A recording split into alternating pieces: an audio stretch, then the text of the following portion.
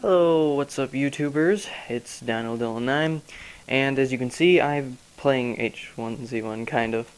Um, they've had a bunch of issues, um, I believe it's G99 or something, error code G99, it's G something. Um, and it could mean that it's something with you, but almost since it's at uh, launch or release or whatever you really want to call it, it's not your fault. Uh, but later on down the road, if that's happening, you might want to check your um, firewalls. Now, nothing too interesting here. It won't let me join any of the servers. They might have took them off. But as we can see here, we can just look at a couple of the things that are part of the game, and I'll be explaining some of the game. And um, this should be the beginning of a video of me actually playing the game. I might go to sleep because it's like 12, and I'll wake up in the morning and see if the servers are up. So, they have 200 servers, and each server can hold 2,000 people, um, but they limited it to 200. So, yeah, they weren't expecting so many people to buy the game, but that's okay. I, I wanted to buy it at 1, and they had issues getting all of that done, so it finally came out at 6 for me. And uh, I bought it, and then all the server issues. A lot of people couldn't even get to the logging in screen. I could at least do that, but it wouldn't even let me join any server. I believe a good, uh, I don't know, maybe a couple thousand people played. I know of at least uh, uh 25.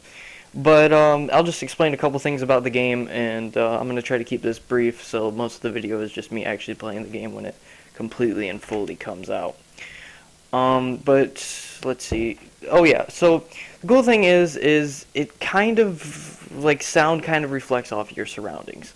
So when you're in a tunnel or a building and you shoot a gun, it's gonna echo a little bit more. Um, I don't know if they're gonna do that same thing with like canyons, if there is gonna be canyons or valleys, whatever you really want to call it. Um, but yeah, that's pretty cool. I haven't really seen too many games do that. And the concept art, like right here, as a matter of fact, I'll try joining it. No, no. But uh, the concept art always looks good for games like Diablo cinematics. The the normal game looks pretty good, but um, actually it looks really good. But I don't know, just being so far back kind of takes away from the immersion into the game. Um, but I guess more what would make sense is World of Warcraft cinematics. You know how they're amazing for their games, um, and then the game just eh, meh. Looks alright. um, but yeah, the game the game kind of does fit in with all this. The rain looks a little choppy right now. It kind of looks like Mount and Blade Rain, which is a five-year-old game. So hopefully they fix that, but they said all of this is just placeholder. Um, I don't know how many weapons they have so far, but I believe that um, uh, I believe that they have around five or ten. I know that they have the bow, they have a shotgun, I believe. I know that they have a pistol. They have, um, well, I guess, did I say weapons or guns? Because guns, they probably only have somewhere between five to seven. Weapons, I, I've seen um, a machete, seen the hatchet. If you want to count the torch as a melee weapon, sure. Because um, you can set people on fire. They have at least, I th actually think that they have three vehicles, but they have at least two. Um, I think they have a Jeep, a truck, and a police car. Um, as you can see, that there's going to be different rules for each server, and um, they count this as an MMO, so I don't believe that you're going to be able to ever have a private server. Um, it is made on the PlanetSide 2 engine, if you were ever wondering, and um, it's mostly meant about building. Of course, it's better to play with friends. But yeah, so there's going to be PvP, there's going to be PvE only, Headshots only only count for zombies, so you don't have to worry about players. Um, recipe wipes, um, you're going to be collecting and learning recipes along your way, so that kind of wipes it. Um, I believe that you can go back to your old server and you'll still have all of your recipes. It's kind of like some servers, you know, like if you play DayZ, there's Private Hive and, you know, um, non-Private Hive, I forgot what they call them. But the private hive, you kind of have all your gear there, and every single time you go on that one, you have your same gear. But if you go to a different private hive, you don't have your gear. But um, non-private hive, you can transfer your gear from each one. So uh, other, I don't know how gear is going to work, but recipes are going to kind of work like that. Battle royales, you can earn stuff for your account inventory. Um, maybe cosmetic stuff. There's the crates. I'll explain the crates to you guys before I end this. First person only. You guys know what that is.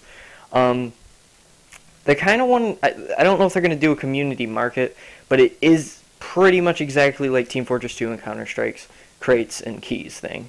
Um, Team Fortress 2 doesn't have crates. I don't think so. Maybe. I don't know. I didn't really play too much Team Fortress 2. I did play Counter Strike. I know my loss. Um, but it's like the um, the keys are two dollars fifty cents, um, two hundred and fifty station cash, uh, and it takes one key to open a crate, and you'll earn crates just from playing. Over time, you'll earn them. Uh, there's probably other ways you can get them, and then you open them up and you get cosmetic stuff like if you have the AK, it'll be blue. Now, just because you have this blue skin for the AK doesn't mean that you automatically have an AK. No, now you have to find the AK and then put the blue skin on it. Um, one thing that you're probably wondering is, if I die, do I still get to keep my cosmetic item? I'm pretty sure not. Um, there might be a possibility that it does, but uh, eh, whatever. And um, there will be a bunch of cosmetic items like that. There will probably be things just for your character. And uh, I bought the most expensive edition because why not? Um, so I'll show you guys the aviator cap. What else? What else can I explain to you guys? I don't know. I had a bunch of different stuff I wanted to talk about. If you guys have any questions at all, go ahead and uh, put them into the comments. Like I said, I'm kind of just rambling on. Sorry, this is pretty boring screen right here. Um, oh yeah, pay to win. Is this game pay to win? Definitely not. Um, people are thinking that it's pay to win because you can airdrop in a gun instantaneously. You buy it and you airdrop in a gun. Now, that completely sounds like pay to win, especially when it can be so hard to find a weapon. Uh, but anybody can steal from your airdrop. Do not think that. So yeah, so you're buying something and somebody else can literally jack it from you.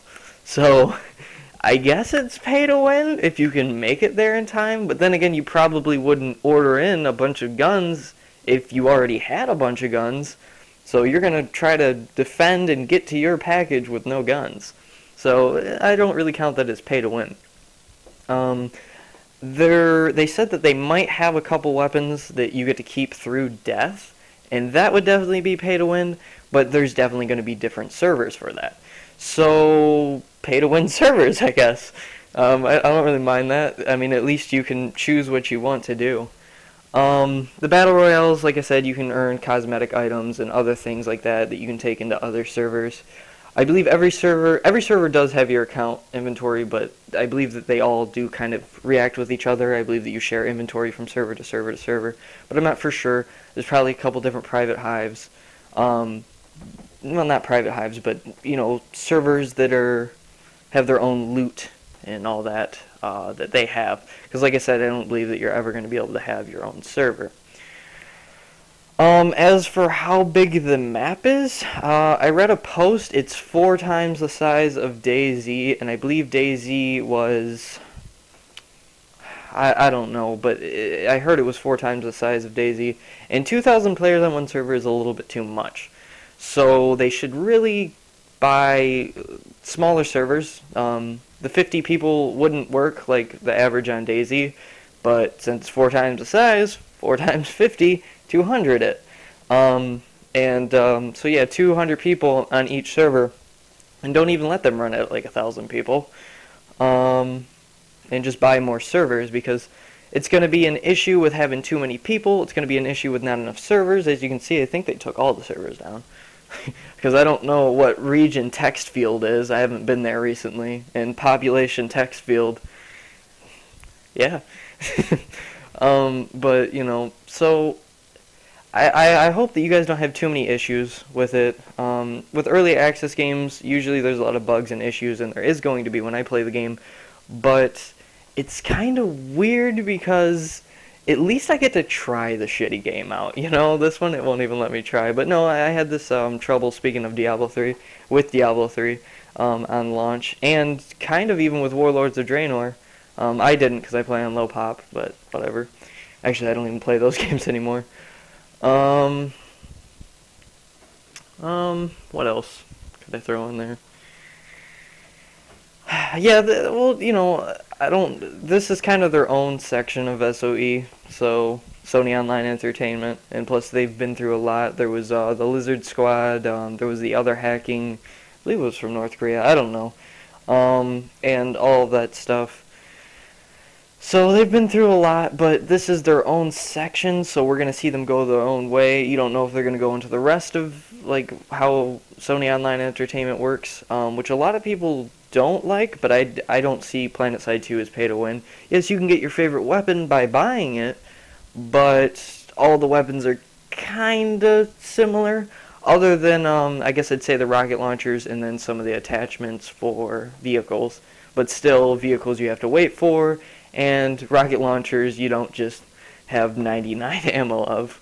Um, so, you know, and plus the PlanetSide 2 engine, and um, these developers seem really, really into fixing something that was broken, aka DayZ Standalone. Because um, DayZ the mod is amazing, but it kind of went its own way. Especially, okay, DayZ Standalone's bad. They, they're just not working on it enough. It, it really disappoints me not about the concept, but about the people that is working on it. But then again, I can't be angry at them because DayZ is one of my favorite multiplayer games of all time, and uh, the mod, and they kind of gave it to the community, and the community's done a great job with it. But I also kind of miss old DayZ. Don't get me wrong, I like building bases, and I do want that a game mode. But sometimes I kind of just miss meeting a bunch of people that aren't hung up in a building that they built that they know everything about it, and I can't get into it sometimes I like seeing the three people on the road and actually getting those kills and feeling satisfied because when you're in your own bunker, you know, you can't do that. Or when you're finding somebody's car that they hid. I don't know if you guys remember old DayZ, but they used to hide cars and tents and all that. And whenever you'd find one, you'd have so much loot and even your own vehicle, and you'd be like, yes, I just jacked somebody's crap. Or when you would get off and get back on and your stuff would be jacked, and you'd be like, I'm done. Suicide. Um, but no, no, you, you, know, it, it was it was a bunch of fun moments. So I'd like to see a little bit of both servers. Literally, some servers with no building on it. Um, but you never know. I still do want building, and I'm still going to do that a lot. That's one of my favorite things to hoard weapons and give them out to new players. Um, I'm going to attempt to be friendly on this game, but if I die 10 times without meeting one person that um, doesn't kill me, then I'm gonna be a bandit. And uh, I'm not gonna. I'm gonna attempt to kind of do my videos like Frankie. I'm not gonna do the transitions and all that because Frankie on 1080p PC, you know, and all that. He's a great guy. Go check him out. Doesn't really need somebody like me to broadcast him, but yeah, definitely go check him out. But um, me personally, um, I'm like I said, I'm gonna attempt to shoot kind of like that. Only interesting moments, other than uh, my first 10 or 15 minutes. This isn't interesting at all. So kind of being a hypocrite. But um, so yeah, so that's how I'm gonna shoot that. Uh, I'm gonna be bandits on some days, so even if I am mostly friendly, sometimes you guys just like to see the really actiony parts, and Frankie has to run for like eight hours to get into action because how friendly he is. Um, so because I don't have that much time, I'm working on my own video game and um, he has a job too. So don't get me don't don't don't get him wrong or me wrong. He does have a job and he does do a lot of other things. It's just um, my time's broken up. So yeah. but uh, I've been rambling on for way too long, probably like 10, 15 minutes, and I wanted to save most of this video. I might even do this as a separate video. Um, but yeah, thanks for watching, guys. Uh, I guess I'll see you in the next part if I do edit this. If not, then I'll see you in the next video. Alrighty, I'll see you guys later. Bye.